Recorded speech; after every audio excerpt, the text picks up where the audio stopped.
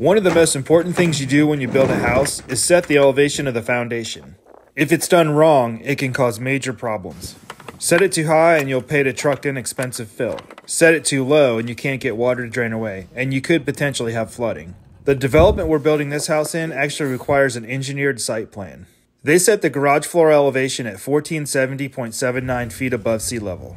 I had the surveyors put a pin in the ground and mark the elevation. This gave me a benchmark to set all the different heights. I set my laser level to this benchmark. Now I can mark my garage floor elevation. It needs to be 15 inches higher. I drew a line in the stake at the garage corner to mark the finished floor level.